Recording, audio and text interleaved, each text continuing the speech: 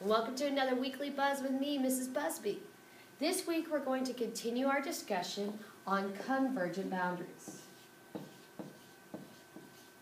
Now remember, a convergent boundary is when two plates collide, when two plates hit. Now before, we've talked about what happens when oceanic crust hits continental crust, or oceanic crust hits oceanic crust.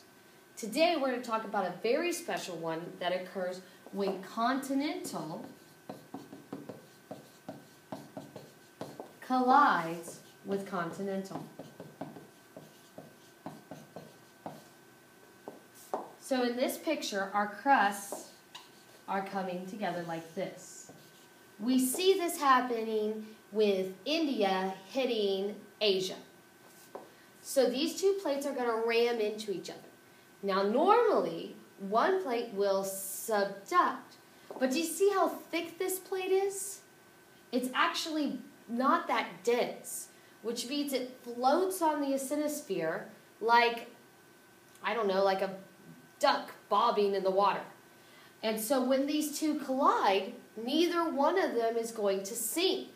They're going to just keep running into each other, and if they can't go down, they're going to go up and they're going to build and build and build until we have a mountain range.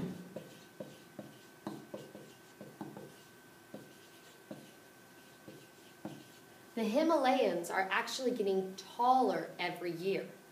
This is because these two plates are still running into each other and shoving the material up up into mountains. Well, this has been another weekly buzz with me, Mrs. Busby.